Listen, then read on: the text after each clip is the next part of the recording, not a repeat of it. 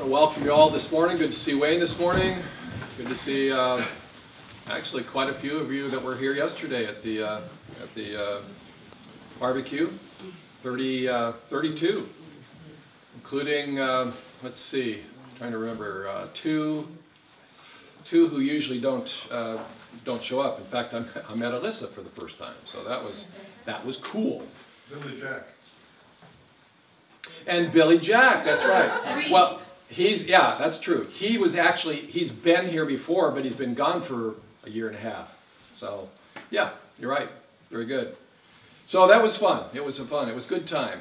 And uh, it's kind of like, I feel like, uh, what, Nathan Hale, I regret that I have only but one stomach to give for all the chili that was provided. uh, by the time I had one, it was like, I'm full. I shouldn't have even taken so much, but it's a good problem to have. Well, we are in 1 Peter chapter 4, and we are in the next section, and uh, you'll be, I'll, I'll, just say, you'll be happy to know that it's uh, a little more smiley-faced.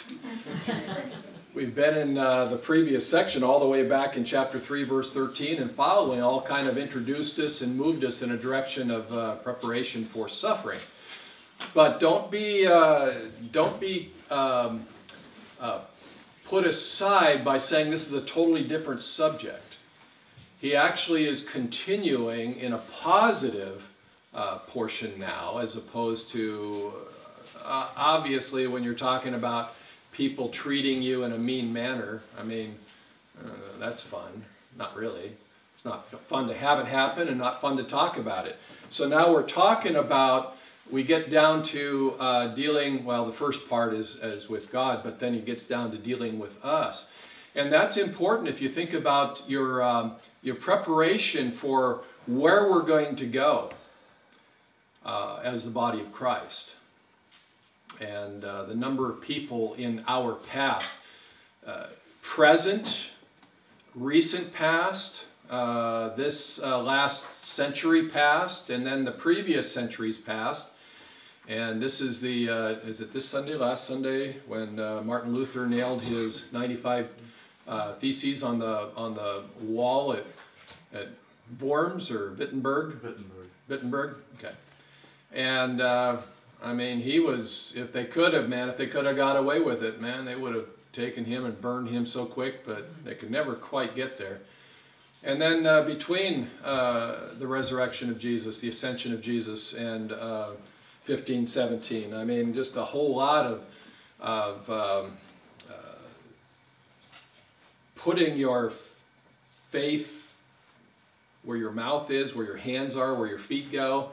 And if you do, the possibility that you'll pay the price. So uh, if, if the church is the church, uh, that is to say, if, if the body of Christ is indeed the body of Christ, then we kind of need to look to our left and right and kind of see uh, not who is there, but uh, what brother or sister is, is standing next to us. So it, it, it's the, the body effect and how um, our relationship with uh, him affects, of course, uh, us, and then how our relationship with others affect the, the power and the presence of the church. So that's where we're going to go this morning. Let's commit our way to Him in prayer. Father, this is your time. We're your people. This is your word. So speak to us by your Spirit. Uh, we need it. In Jesus' name, amen. So, the very first thing out the gate, we get this phrase uh, now the end of all things is at hand. So you, you see that, and for me, what comes to mind is either in the movies, the cartoons, or the books, you know, the prophet-looking guy, he wears a robe and he has a beard and long hair and he's carrying a sign, the end is near. I mean, when you read that, isn't that what comes to your mind? I don't know, it comes to my mind. So uh, the end of all things is at hand. And keep in mind that even though what we're dealing with here in verse 7 through 11 is, is positive, uh, looking back into the congregation rather than in a sense looking out there, we still connect the dots. And if you remember back in verse 5, uh, Peter had said, they, referring to the ones who um, uh, are surprised that you don't still run in your sinful ways, shall give an account to him who is ready to judge the living and dead. So we have fresh in our minds that Jesus is enthroned and he's, he's ready, he's prepared to pass judgment through his blood upon his people and upon those who are not his people. So we have that in mind, and with that we get then to verse 7 where he says the telos, the end of all, has come near, is near. And, you know, is at hand works, has come near. And because it's the perfect tense, uh, the linear tense, it, it has come near. And because it has, it's been on this journey since the ascension of Jesus. He said, I'm coming back. I'm coming back. And Peter, in, uh, we'll just say 66 AD, just to give us a point of reference, uh, Jesus said that, obviously about 30 years, um, 33 years, however you want to count it, up until, G, uh, uh up until uh, Peter is saying this, he says, uh, the, the end of all things, the telos, the completion, has, has come near, is near. So Peter in 66, possibly not necessarily, I don't think Peter was in prison, but the potential for him where, where he was writing this was any day he could, he could be taken. Uh, the potential, therefore, for his demise, uh, physical demise, his uh, execution, was, was a reality. But apart from that, he, he recognized that Jesus could return at any point. And so he says the, the telos, the end, and I'll explain that in a moment, um, has come near, is near. It's like we may not finish this sermon near. I may not finish this letter near. And it, it's from that standpoint, it's, it's fascinating. And I suppose some, um, and I'll, you know, I don't use derogatory terms too much, but some nitwit might say, well, Peter was a false prophet because obviously this is 2,000 years later. And it's like, yeah. And the nearness of the conclusion has always been near. The return of Christ is always imminent. He could return before the end of the sermon. And and as we finish uh, one event in one day and one week and one month, and some of us were once 50 years old, some of us haven't reached that yet, I realize, but okay, I'll say 16 because that's safe. Some of us were once 16, uh, and now we're way past that. Well, you know, every year Jesus could have returned, and he could return today. The imminence of Christ is always near. And I, I'm of the opinion, based upon world events, based upon where Israel's at, based upon where Russia's at, based upon where China's at, based upon where certain moral issues are at, that today is closer than we've ever been before, not just because of time, but because of the nature of things.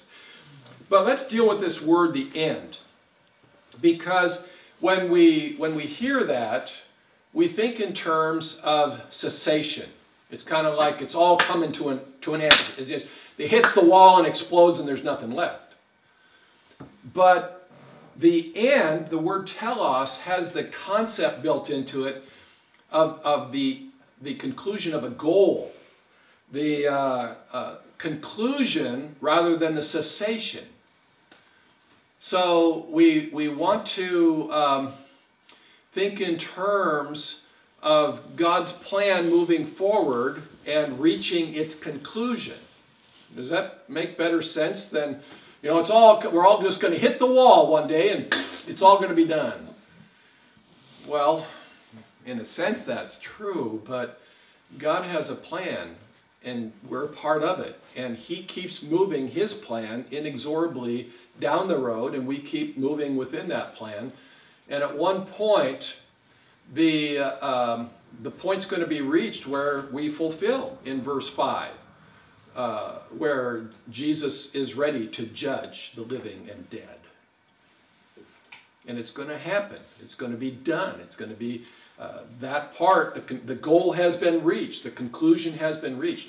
So we look at then verse 7, and we read it in the English as the end of all things is at hand. Um, but if we read it a little bit as it's meant to be, the goal will have been reached and is, is like right at the door. And we are supposed to live that way. And part of that is the encouragement that goes back into the previous portions from chapter 3, verse 13 on through where we finished uh, last week in chapter 4, verse 6, where the outside pressures are great and we're supposed to have this attitude that is constantly looking at Jesus in all of that to respond with grace rather than with, you know, fist against fist. And uh, recognize that we keep moving within God's path for us. And so he tells us then how to do that in verse 7, where he says, um, Therefore, be clear minded and self controlled, or be of sound mind and be sober. And, and then he'll tell us why in a moment. But we deal with these first. Be of sound mind. Both of these are, are imperatives. So do this, and with that, do this. And the sound mind is um, that which um, Paul would have described in, in Titus as soundness of mind, balance in thought and disposition, um, not flighty, not unbalanced, and carried away by uh, uh, either silly notions or in uh, responding to the attacks of men. So being of sound mind means that as these uh, nasties are coming down the road, we keep looking at them, recognizing that God has a plan. And it's the same kind of plan that Shadrach, Meshach, and Abednego gave to Nebuchadnezzar. It's like, we're not, we're not abdicating to some other ruler. King Jesus is our king. And uh, we will not bow down to your pressures, your concepts, your threats. And even if you kill us, we will still not bow down. That's the sound mind. As we as believers recognize what God has said in here to us by way of promise, by way of revealed plan, by way of, of Himself having revealed Himself to us so we know who He is, trustworthy, and uh, intelligent to the place where His plan is perfect. We recognize His sovereignty. We recognize the fact that none of those raging bulls, so to speak, that are heading in our direction, none of those threats are going to hit us without His permission. We are surrounded behind and be, uh, before and behind uh, by His loving arms. And so our soundness of mind uh, keeps us on the path and by way of encouragement to continue putting one, one foot in front of the other. When it says be sober, um, we've covered that before, uh, uh, chapter 1, verse 13, um, where it, it, has its, its uh, uh, beginning in, in, sobriety, not being drunk, but it's also uh, from the standpoint of, of being vigilant and circumspect. Um, and it's, it parallels, it's a twin to sober-minded, or uh, sound-minded. So he, uh, he says, in connection with the fact that the goal is going to be reached here, it's, it's, it's, it's near. Uh, could happen today, might happen tomorrow, we don't know. But uh, be of sound mind. Look at things appropriately. Uh, don't look at these threats as uh, something that has surprised God. God woke up this morning and said, Oh, it's heading to them. What am I going to do?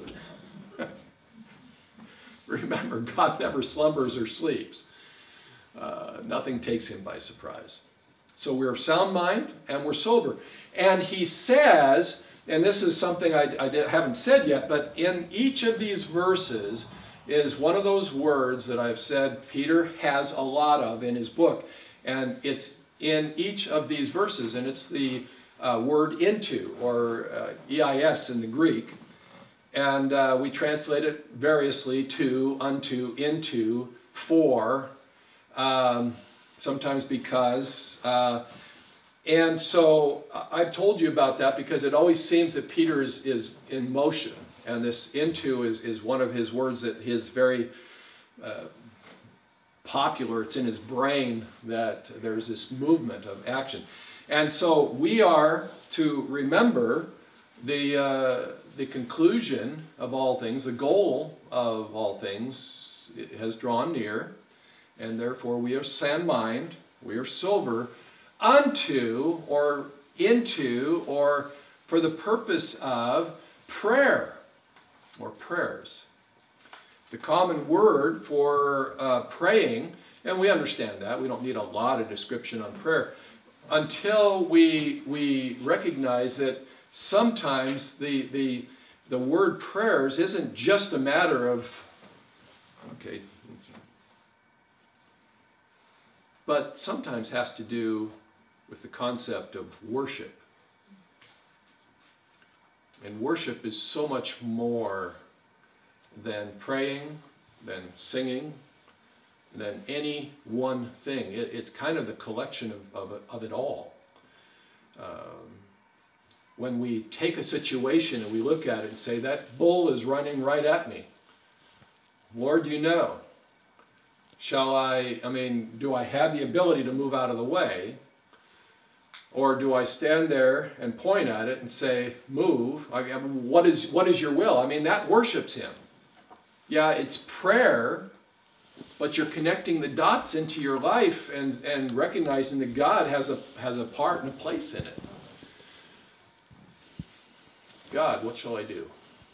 What, what would honor you right now?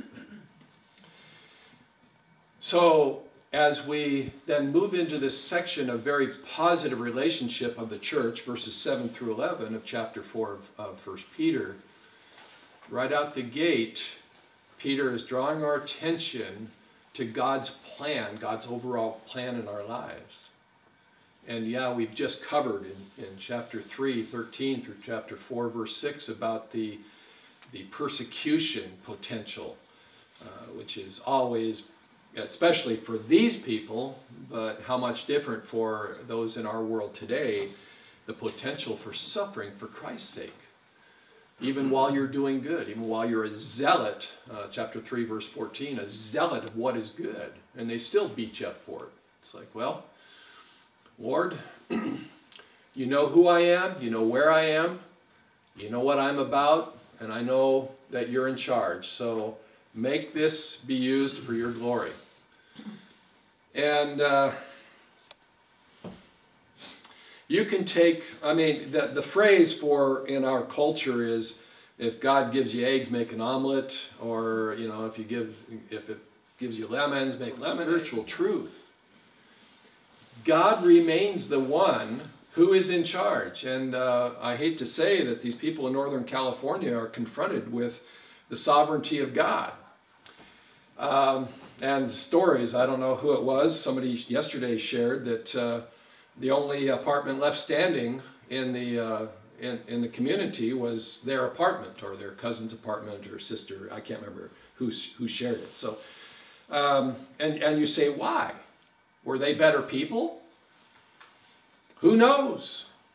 That's where you look into the face of God and say, uh, obviously you have a plan for us because here we are right in the center of all this, what would you have us do?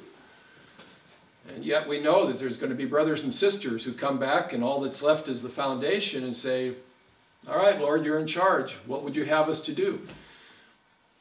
And this tells us here that your sound mind, your sober spirit, eh, you're looking at it in, in prayer, to, to pray, so that you can pray, so that God remains sovereign and recognized as the, the king of your life.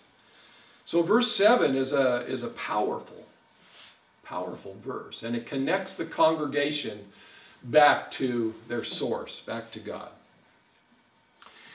so we move into verse 2, where the, uh, the first word is, is interesting. It's, it's, well, pra, P-R-O, but it's not the omega, so it's not long O. Anyway, don't worry about that. It, it's like, woohoo! Oh, it's pra, not pro. Wow. Um, it can mean above, so above all, or can mean before. So in, in order of importance, this is in this is first, or, or therefore preferential. And so after we recognize our connection with God in prayer, we Peter is reminding the congregation as they look left and right now, before all things, before all things, regarding yourselves. So we're, we're going we're going to the congregation. Now, what Peter has done right here with the verbiage is, in a sense, to close the door and then just look at each person and have each person look at each person. So we're looking at each other. That's what this verse is going to do. So this isn't the, the preacher preaching at you. This isn't the Sunday school teacher teaching you, the elder, you know, saying, look at this verse. This is God telling each of us to look at each other. So he says, above all, as it relates unto yourselves, love, having love fully exerted into each other, toward each other, for each other. This love is something that, uh, if you remember here at the church, um, if you haven't heard me say it in a while, we keep Jesus Christ in the center. This church is not about the pastor. It's not about an individual. It's not about the building. It's not about its place on the road. This, this uh, body of believers is all about Jesus Christ. And if it's about anything else, then go somewhere else where it is. Sadly, there's too many churches where Jesus is like number 10 on a list of six. And it's about the building, or it's about the pastor, or it's about the music, or it's about the programs. But here we will make every effort to constantly keep it about Jesus Christ in the center, first and foremost. Secondly, we love one another here. And we've come across various verses over a period of time that draw attention to that. And this is one of those. And it's so clear that you could almost paint a picture of it. Almost. But this love is that which involves the intellect. It, it, it's what you would call a choice. And it involves looking at the subject and the response of connecting with that subject is no matter what, that which we'll, will define as love, giving to a person on the basis of what they need and not what they deserve, is going to be given in spite of anything else. And this is tested out in a variety of ways. It really is. Uh, and I, I did this at one church. I don't think I've done it here, but I'll do it this morning because as soon as I say what I'm going to say, um, you're going to be tempted to either jump ship or jump on board the ship. When I say the word Trump, the response of people well, there, there's two. It's either a thumb up or it's a thumb down with vitriol. Because I don't think there's, um, I mean, I've heard people say I'm not a fan of Trump, and it's like, what does that mean? So as soon as you say something, and, and I could have chosen something else, but politically speaking, that seems to be the hot potato. So you, you say that, and somebody says, I'm a Trump fan, and you turn and walk away because I'm not a Trump fan. I have vitriol toward the guy. Or somebody says, I hate Trump. And you turn and walk away because you say, Trump is, if I could, he's my neighbor, he'd be my best friend. Well, what this verse is saying is both of those responses are unacceptable.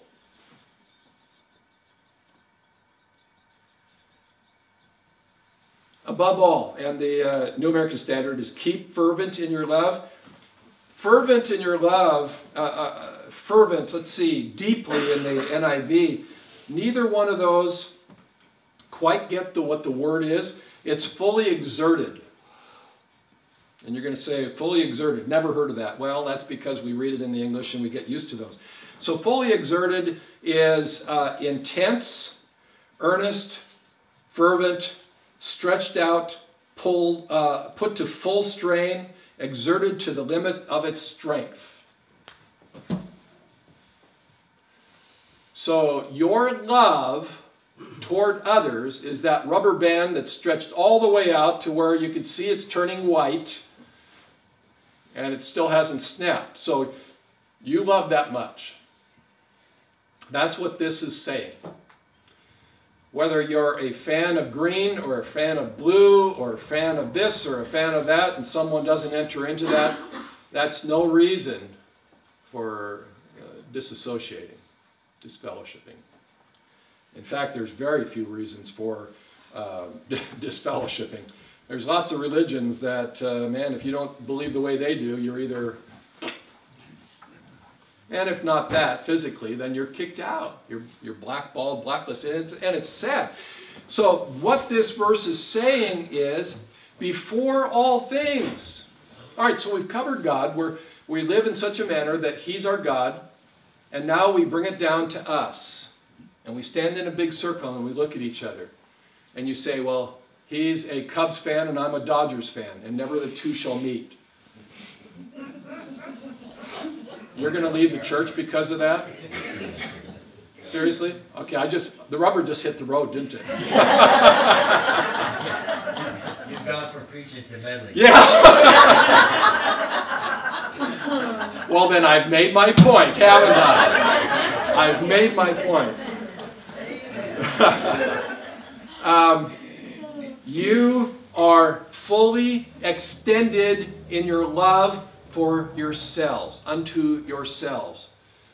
And Peter has gone from this ethereal out to everybody in the world down to us. And we look at each other and we have no excuses before God or really even before one another. And I find that, um, and I have to be real careful. Um, that I, I can be disappointed. I can be disappointed. I can be disappointed. Um, somebody says something they did and I, I disapprove in my spirit. I'm wondering, is this the time for me to correct them or is it something that they're going to have to work out on their own? Um, I mean, uh, gray area, is that my call? And I, uh, in love, will let, because I'm not the Holy Spirit, I will let God do His work in an individual.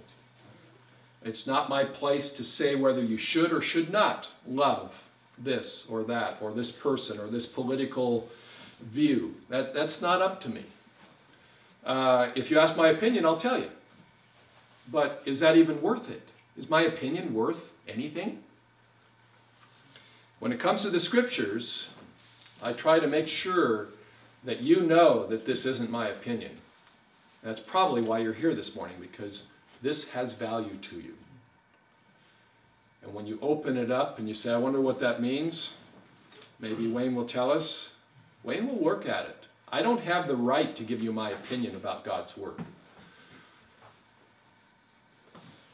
So we're going to conclude today, uh, and that's why some of you with the, the sheets have text A and text B, verses 7 and 8, and then verses 9, 10, and 11. Believe me, there is a lot here. And, the, the, uh, and it goes, there's a lot more to come. Uh, but to finish up in verse 8, the last thing there, and I probably will just have time to mention it because it, it needs some time, is because the reason that we do that with one another and we are, we are fully exerted in our commitment to one another on the basis of what we all need, not what we deserve. You know, and I could say, um, whoever, whatever, anything that's opposite of the Cubs. I could say, Dodgers forever. And, and some of you might want to do this. You can't do that. You can't do that. You don't have that option as a follower of Jesus Christ. You don't. Love, it says, covers a multitude of sins. And that doesn't mean that we bury our differences. It doesn't. I am different than you. just for the sake of argument, Dodgers forever. There you go. You got to love me anyway. You got to love me anyway. It doesn't mean that we bury. It doesn't even mean, in a sense, because this isn't really what it's talking about, forgiving. It's a matter that I look across the room and I see you, and I know you're different than me. I know you're, and, and name it, I, I don't care, whatever category. This is different, and, and, and I'm different. What do both of us need? We need the commitment to one another through Jesus Christ that in spite of all, what you need is me as your brother. To stand with you in the name of Jesus Christ. And what I need from you, when I look to the left and to the right, and whatever kind of hat you're wearing, it's not the same as mine, I look and we look at each other and say, because of Jesus Christ, I'm standing with you. That's what the church needs.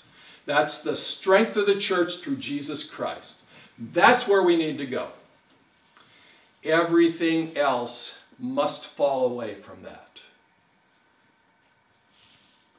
You can see how this portion here, and we're, we're, we're not even halfway done with this portion. This portion is powerful, and it doesn't stop there. It's like Peter took a break and said, How many great things can I get pack into this? Oh man, I'm going to just. Verses 7, 8, 9, 10, 11 are powerful for the church, powerful for us. We need it. We must live here. We must live here. So I'm sure we took a poll. None of you would have an issue with keeping Jesus Christ in the center. I mean, I'd, I'd be a, I'd be 100% confident. None of you would have an issue with that. The loving one another, Unfortunately, I'd have to say I'm 99.9% sure. because we're just people and we're on a journey. So let's get there together. Father, you are good all the time. You're sovereign. You're God. We're your kids. We need to obey you on this. Help us, Lord. Help this church, everyone who comes under the power of the preaching of your word, to love one another, fully extended, fully exerted, for Christ's sake. And we pray in his name. Amen. Amen.